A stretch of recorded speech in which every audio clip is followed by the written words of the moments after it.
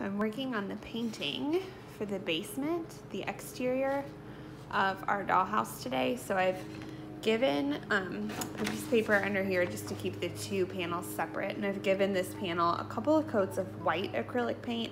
Um, I used a regular brush around the edge and then a foam brush to kind of fill in and smooth.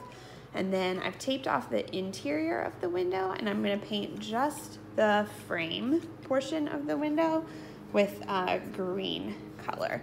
So we're gonna go white and green on the outside. I'm gonna leave the inside frame natural and these edge pieces natural. Um, so there's still some of the wood because I think it's so beautiful.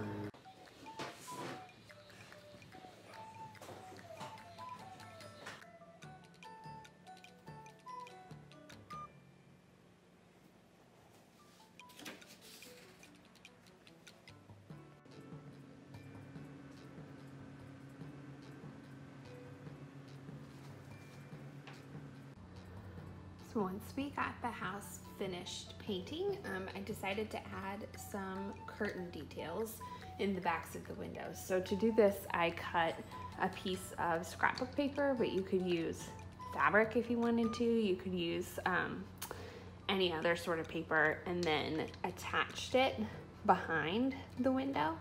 So I'll do different curtains, I think, on each level of the house. So I'm using this Blu Tack to attach all of the paper that I'm putting in the house. I have the scrapbooking paper going in the windows, and then I have wallpaper um, that I'll be using on floors and on the walls inside. So the reason I'm using this is because it's removable. So this gives you the option to change out the paper on the house. Um, you could make it themed for holidays or just change it when your kids decide they want something different.